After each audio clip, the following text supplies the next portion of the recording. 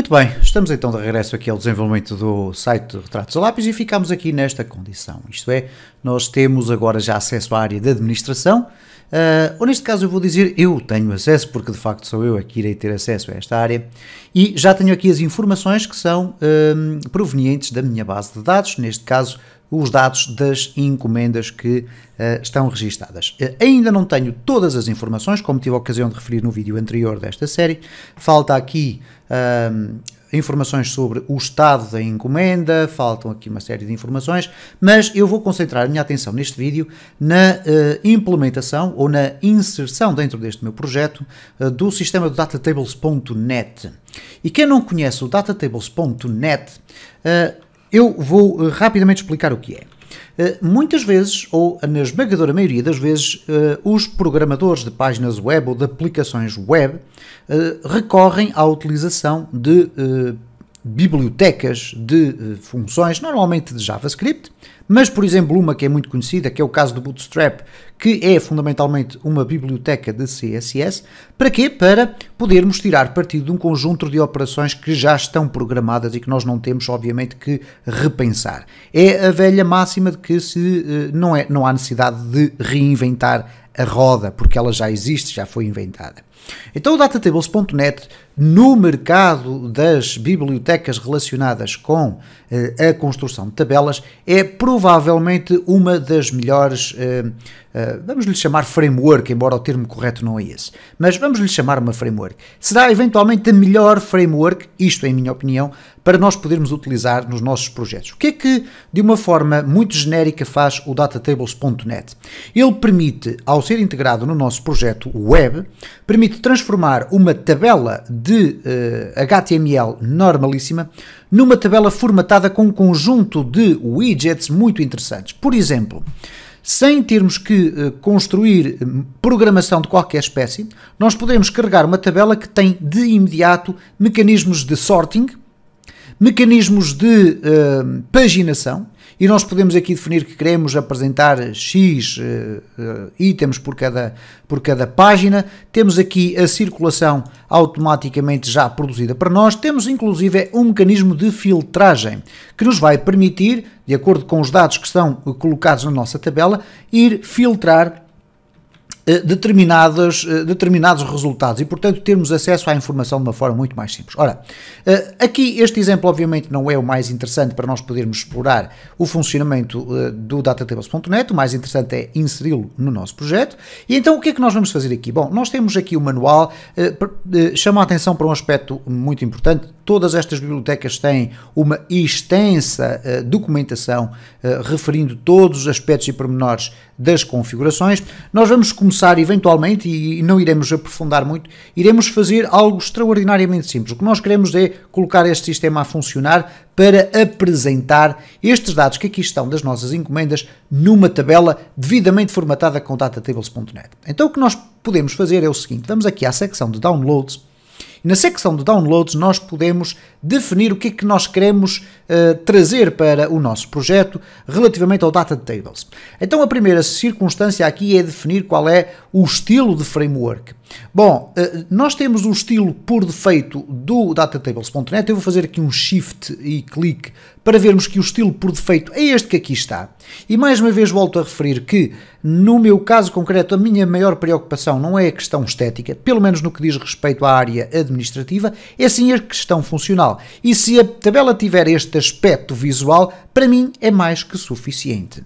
Bom, então neste caso, o que vai acontecer aqui é o seguinte: nós temos aqui primeiro escolher o estilo da nossa tabela. Eu vou deixar por defeito o Data Tables. Eu poderia escolher um estilo formatado com Bootstrap 3 e automaticamente o sistema vai-me uh, uh, escolhendo aqui uh, algumas opções relativamente às opções que eu vou fazendo aqui em cima, ok? Então eu quero o Data Tables normal, em termos de pacotes ou de packages, eu quero apenas o Data Tables. Eu não vou necessitar do jQuery 1 ou do jQuery 3, porque eu já tenho isso a funcionar uh, dentro da, do meu projeto. À partida não será necessário nada de extraordinário, portanto vamos deixar ficar datatables.net. E depois temos aqui algumas extensões. Algumas são muito interessantes, eu vou apenas referir aqui para que vocês fiquem com uma ideia.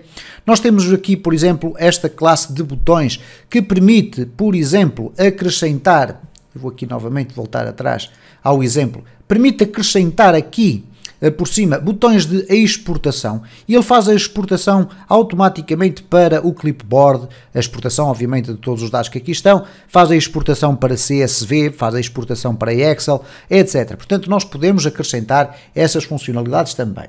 Bom, mas eu não vou ter necessidade disso, portanto não vou colocar aqui uh, os botões, nomeadamente o que diz respeito aqui ao HTML5, como podem verificar aqui, Copy to Clipboard, Create Excel, PDF and CSV Files a partir dos dados da tabela. Portanto, dá para exportar para tudo isto, ok? Também existe uma versão Flash, mas normalmente, uh, como o Flash é uma tecnologia que já está em desuso, o que acontece é que normalmente nós selecionamos aqui os botões e depois vamos colocar aqui um... Uh, um, um, piscozinho aqui, um, um, verificado no HTML5 Export e uh, descarregamos aqui isto para podermos uh, podermos exportar para Excel e esta uh, função aqui, ou esta classe aqui também, para podermos ter um mecanismo de exportação para PDF. Mas, obviamente, isto tudo uh, é paralelo àquilo que me interessa. No meu caso, eu não quero utilizar isto. Temos aqui depois o, color, uh, o column reorder, que dá para fazer um drag and drop e alterar a localização das colunas, não me interessa. Um que me eventualmente vai interessar é o fixed header. O fixed header significa o quê? Que o cabeçalho da nossa página, ou melhor, da nossa tabela, este cabeçalho que tem aqui name, position, office, etc. Eh, eh, se eu tiver uma eh, tabela com imensas linhas, vai acontecer é que eu vou rolar para baixo, vou fazer um scroll e o cabeçalho vai ficar lá no topo, ok? Esta opção eventualmente vai me interessar e, portanto, eu vou deixá-la ficar ali. Uh, e depois, no final, temos aqui também um scroller, etc. Enfim, eu não vou descarregar mais nada do que aqui está, porque penso que por defeito aquilo que eu selecionei, obviamente vou tirar daqui os botões, é suficiente. E agora temos aqui as opções. Poderíamos inserir isto tudo por via CDN, ok? Minificado e concatenado, o que é que isto significa? Minificado significa que o código vai estar comprimido e, portanto, os fecheiros transferidos vão ser eh, mais pequeninos, e o concatenado significa que todas as opções aqui vão ser incluídas num único fecheiro, ok? Eu tenho aqui a opção por CDN, mas eu vou fazer um download, ok? O download vai me permitir então depois uh, uh, inserir estas duas entradas dentro do meu código. Então eu vou fazer aqui o download files, ok? Temos aqui o datatables.zip. O que eu vou colocar aqui é na minha pasta de desenvolvimento, eu vou colocar aqui no retratos, ok? Vamos colocar aqui na pasta do material o datatables.zip. Porquê? Porque eu agora vou abrir aqui o datatables.zip e vocês vão verificar que ele tem aqui imensa informação. Bom, nós temos aqui o datatables.js e o datatables.min.js. Eu não vou necessitar deste, vou apenas necessitar das versões minified, ok? Uh, todas estas questões que aqui estão, nós vamos colocar dentro da mesma pasta onde vamos descarregar aqui estes elementos. Então eu vou fazer o seguinte, vamos abrir aqui no Laragon a pasta dos retratos. Então vamos abrir aqui, vamos à pasta dos assets. E eu vou colocar aqui o seguinte, vamos aqui tentar verificar, ok, temos aqui JS, ok, tudo bem, vamos aqui colocar fora destes elementos todos, uma nova pasta chamada Data Tables. Okay? E dentro do Data Tables nós vamos descarregar tudo isto que aqui está. Ok? Está descarregado para aqui. Nós não nos vamos preocupar muito com isto, porquê? Porque o sistema que está incluído aqui dentro do GS e, uh, neste caso do GS, eu vou aqui já eliminar estas versões não minificadas, ok? Vamos aqui fazer um Shift Delete e, portanto, já só temos aqui as versões que interessam. Uh, todas as dependências que estão aqui dentro vão estar, à partida, incluídas dentro destes fecheiros, ok? Então nós não vamos ter que nos preocupar em saber o que é que está aqui dentro. Vamos deixar que o JS ou que uh, o Data Tables se encarregue de fazer essa verificação. Bom, vamos então aqui Uh, colocar uh, ou tentar colocar isto a funcionar no nosso sistema. O que nós vamos fazer aqui é que na questão do layout, vamos aqui ao início e aqui depois do jQuery, nós vamos colocar aqui o datatables.net. O que nós vamos carregar aqui, em primeiro lugar, e seguindo as instruções do que está aqui uh, no site, é o uh, link para o fecheiro de CSS, ok? Então, vamos aqui colocar este link. Ora, obviamente que nós agora temos que definir aqui onde é que se encontra uh, o fecheiro datatablesmin.css. Neste caso, nós temos aqui dentro do assets a pasta datatables. Ora, então vamos colocar aqui uh, php echo base URL assets barra data tables, vamos colocar em minúsculas, porque é assim que nós colocamos ali, portanto, eu tenho ali data tables, o data tables e depois data tables min.css, que é este fecheiro que está aqui dentro, ok? Vamos fechar aqui, vamos colocar aqui o fim, uh, ou melhor, aqui é com um apóstrofe, e vamos colocar aqui o fim do ahref, ok? Bom, temos então a partir da importação do datatables.net a funcionar, o que nós vamos fazer agora é chamar aqui o fim e vamos colocar a seguir uh, ao popper e ao bootstrap min, vamos colocar aqui o datatables. Uh, ups, aqui vamos colocar um comentário simplesmente para ficar mais bonito, um comentário de HTML datatables.net. Então aqui vamos novamente regressar ao site e vamos copiar este script Vamos colocá-lo então dentro do nosso projeto.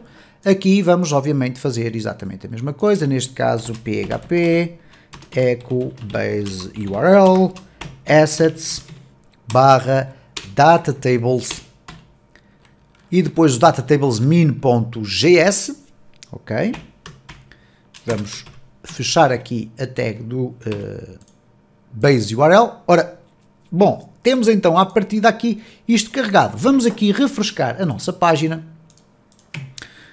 Ok, temos aqui o refrescamento feito. Vou pressionar F12 para ter acesso aqui às ferramentas do programador e verificar se existe algum erro. E à partida o que nós estamos aqui a verificar é que não há aqui qualquer erro uh, indicado na consola. Bom, nós podemos ainda fazer a verificação se os dados estão a ser carregados corretamente indo à fonte da página. E quando vamos à fonte da página nós vamos encontrar aqui o carregamento uh, do uh, datatables.net. Se nós clicarmos aqui terá que abrir um fecheiro deste tipo portanto com toda esta, com todo este código, ok? E reparem como ele já inclui aqui o datatables.net e o fix uh, 3.1.4, portanto já está tudo incluído aqui dentro.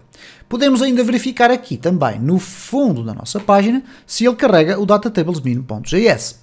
E cá está então também, inclui também estas mesmas bibliotecas, portanto esta é a parte do JavaScript, aquela que nós vimos anteriormente é a parte do CSS, ok? Vamos então no próximo vídeo verificar como é que podemos colocar então aqui o datatables.net dentro da nossa aplicação a apresentar aqui os dados.